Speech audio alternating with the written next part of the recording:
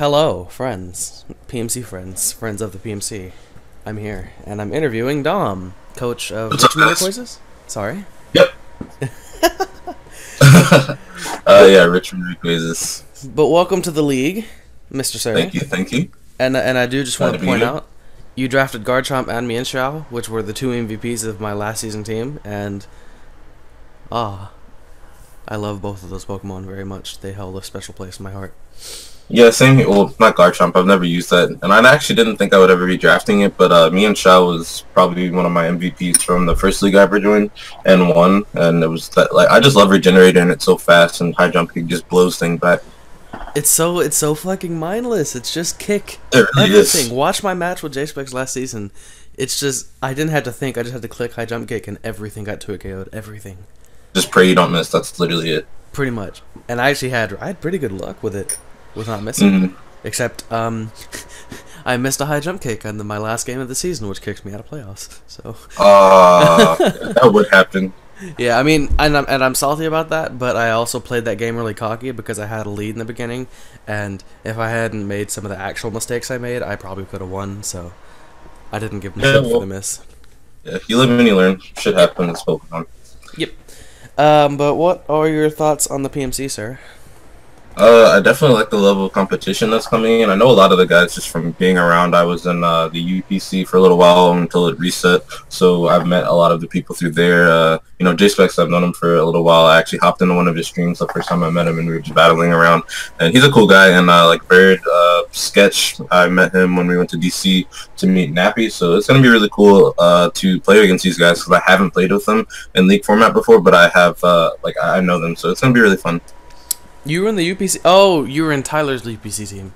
Yeah. Um, I mean, season three just started, and I'm in season three now. So I mean, Nice, man. you should totally. Yeah, I, only reason I stopped that was just because I had already gone undefeated for six uh, six weeks, and I didn't really have the time to invest in resetting and redrafting, and I was like, eh. Uh, like it, that was around the time finals and stuff was happening too, and I had to get ready for school. So, Wait, was that? Were you in season two or season one? two. Oh, so you were in the Roshan era of the UPC, Yeah. but Ty- Tyler has it back now. That was that's funny. I can't believe he just gave Roshan the league. Um, but um, I mean, you already said you uh, knew a lot of the people from the PMC, and um, so this question already kind of answers itself. But uh, how did you find out about the PMC? Um.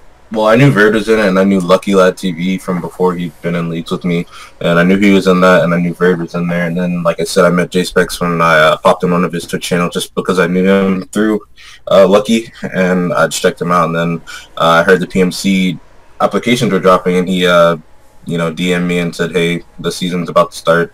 Uh, go ahead and throw out an application." I was like, "Yeah, for sure. I definitely want to get back in." Like, I like this crowd of people as well, and I knew a lot of the same people would be in there, so uh, it was a no-brainer. I just signed up. Yeah, definitely. Um, group of people here is pretty cool. Um, Yeah. But what are your thoughts on league format as a whole? Um, I'm really interested to see where Gen 7 League format is coming. I know that a lot of people haven't really seen, uh, I guess, the potential of a lot of the changes and whatnot. Like, for example, Porygon Z, I feel like that's going to be one of the most crazy powerhouses in League format just because conversion with the ability to boost all of your stats and change your type is going to be just absolutely phenomenal. Uh, plus, you have all of the new Sun and Moon Pokemon, of course. Uh, you've got two new Solid Spinners in Dhelmise and uh, Serena, and that's just going to be a really cool thing for people to try to grab quickly. And also the ban lists that are going to be coming up. I'm really interested to see where that will go. And just, you know, what the top tier things from the new generation are going to be. Yeah, uh, and I find it interesting that John didn't ban any Z moves. So while most leagues are insta banning, especially the plus one on every stat boosts, um, this this season is gonna kind of give an example of what happens when you don't ban them, so you can actually make a judgment on whether or not they should be banned. So Yeah, for sure. if if they Um, wreck the league, then you know, yeah.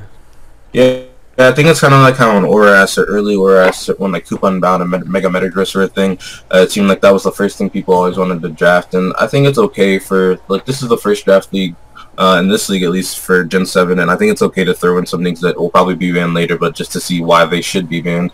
Yeah. But at the same time, I feel like that kind of discredits the people that do draft them because for example, um, when I started my league career, people whoever had Mega Metagross pretty much automatically made it to playoffs.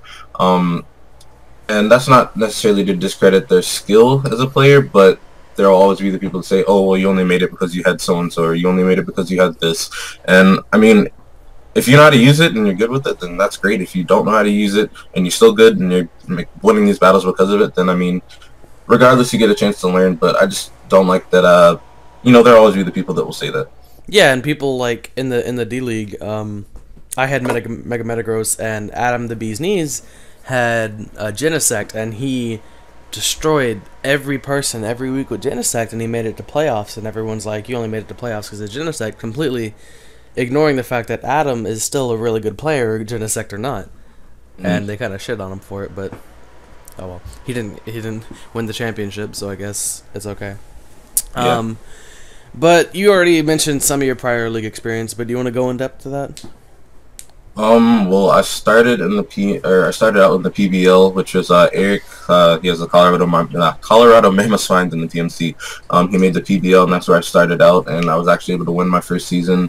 And then I branched off and met some cool guys, and we formed a league called the NBA, and we did a couple seasons of that, and just like networking and stuff. Uh, I joined the EPC for a little while.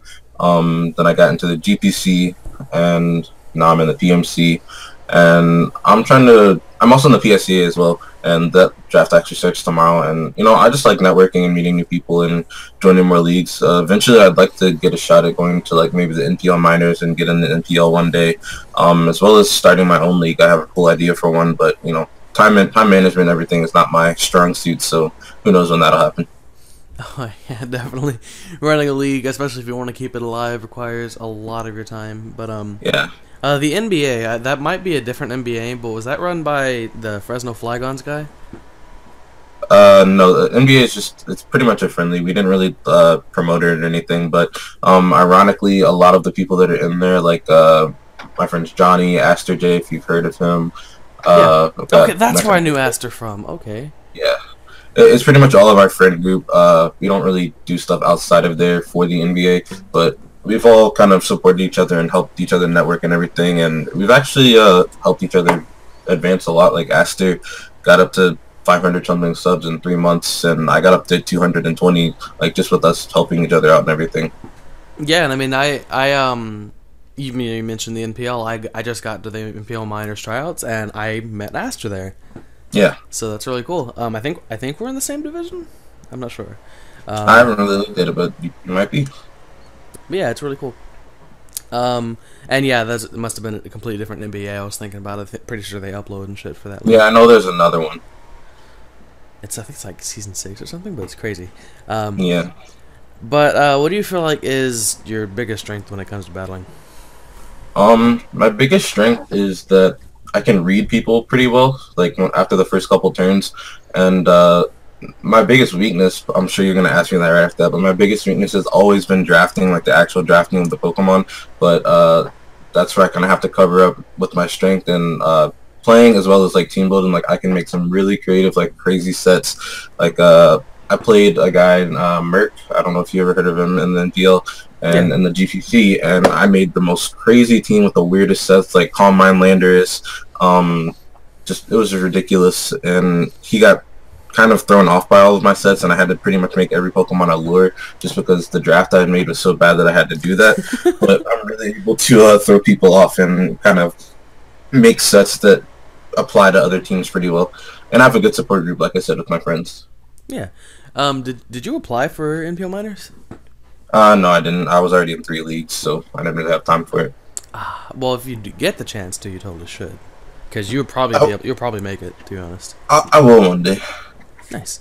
Um, and yeah, the weakness was the next question, so good call on you. Um, but how do you usually go about your drafting? Like, if you make a plan? Um, well, that's the thing. Um, I'm really notorious for never planning anything because, like I said, I'm really busy. So almost all of my drafts and all of my prep happens 15 minutes before it's supposed to happen. uh, I didn't even know the draft was happening when it was happening. I was like, well, I better uh, pony up and figure something out. Uh, but normally what I try to do is at least get a good offensive core, and that actually bites me in the butt because I'm one of those. Even my team build on ladder, I really do not like wasting a slot with a spinner and hazard removal. So a lot of times I'll have a really really offensive team, but I'll have no defense defensive backbone whatsoever and pretty much negligible hazard control. But this time I tried to settle it down and uh, say, okay, let me get a defensive core that can like double as offensive. So I did Dragon Fairy Steel, Garchomp, Florges, uh, Mega Scizor, and I just think those are really solid together, like in any league draft period. And I was like, all right, I have my backbone now. I can start playing around a little bit, and uh, I just really like having a wall breaker because I get really frustrated having to play defensively and keep switching. I like to just blow through other people's teams, so that's pretty much uh, my go-to thing. Man, it's like we're twins. I saw your team. Yeah. I, was, I, saw your team, and I was like, "This is the team I would draft." Minus Florges, because I hate Florges. Um, and you think exactly like I do. Nice. Um, but uh, what do you feel like is the most overrated mod of the format? Kind of cut out there. Would you can you repeat that one more time? Man, that's happening again. Okay, uh, let me make sure. Yeah. Um, what do you feel like is the most overrated mod in the format? Uh, I said I heard. What do you feel like is, and then the format. What was the word in between? Oh, it seems like I'm lagging out a little bit. Okay. Yeah, it looks like my connection was down for a minute there. Okay, cool. Let's try this again. What do you feel like is the most overrated mon of the format? Oh, okay, all right, I got you now. Um, most overrated mon. Um, I feel like it'd be something pink, like maybe Clefable. I feel like no, not even Clefable. I don't really, I don't feel like people get that that much. Um, actually, I gotta say Mew because people when they say on paper that Mew is really good, and they're like, "Oh, Mew can have pretty much any move you want it to have." Yes, that's true, but Mew almost always gets put in a defensive or support position, and even when you do put it in an offensive position, it's kind of like uh, mediocre, I would yeah. say. So, yeah, I feel like everyone says on paper Mew's pretty good, but it's not really amazing. There's, that's like the fifth person that said Mew. I mean, it is what it is. Yep. Um, they were riding its dick like a year ago, but people are kind of realizing ah, it's it's it's like the epitome of I do everything, just not very well. Yeah, jack of all trades, master of none. Yep. Um, but on the flip side, what do you feel like is um, a really underappreciated mon? Uh, I'm gonna have to go with my boy Mienshao. Actually. Hey, uh, hey, high five. Yeah. Hey. And, people also overlooked that it has uh, really good, or not really good, but usable special attack. Mm-hmm. And uh, for example, Grass Knot with the Life Orb can 2 KO Hippowdon, and uh, that's a really cool thing to be able to say you can do. And High Jump Kick with a, I think Reckless Banded High Jump Kick and OHKO the standard Mega Blastoise, which isn't necessarily used defensively, but that's still like kind of an impressive feat to say you can do because it's pretty bulky. Yep. And it can just tear through teams. It's fast enough for it's a Scarf and Reckless or Regenerator. It's still strong enough to just punch holes through things, and it's just a really good pivot, and you can play around with it sets like Sash Regenerator, and it's really cool. I like it a lot.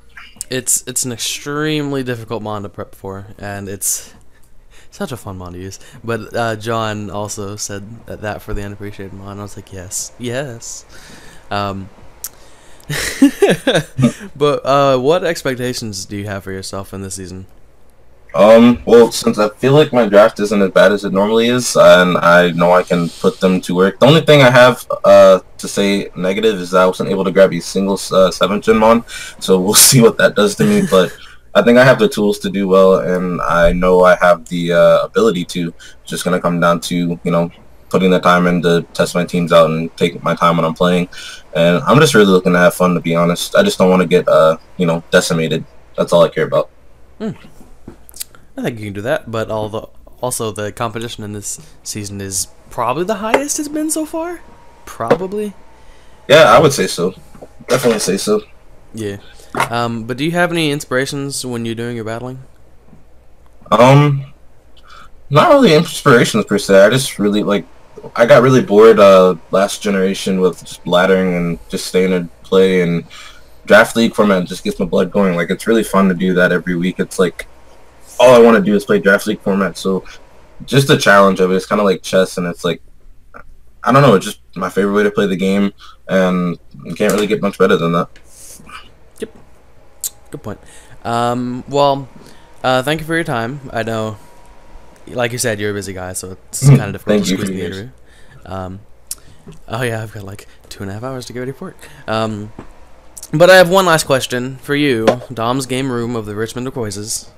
Who is going to be the champion of PMC season three? Mm, I have no idea. I'm not gonna be cocky and say it's me because that most likely won't happen. But uh, You have to I'd say say Verd. cocky.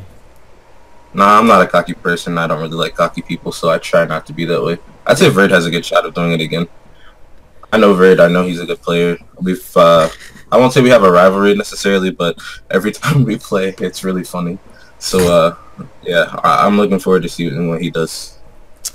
It's you can tell you have a really nice group of people when like I think two people said me, and I think I think I might have forced them to say me. I don't know. Hey, nothing wrong with that. If you stand by your judgment, then you, you push for it. yeah.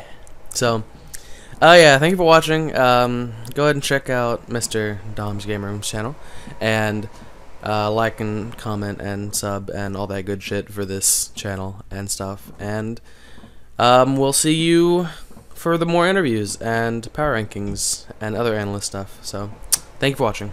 Any last words? Bye, guys. No, goodbye. Goodbye. Goodbye.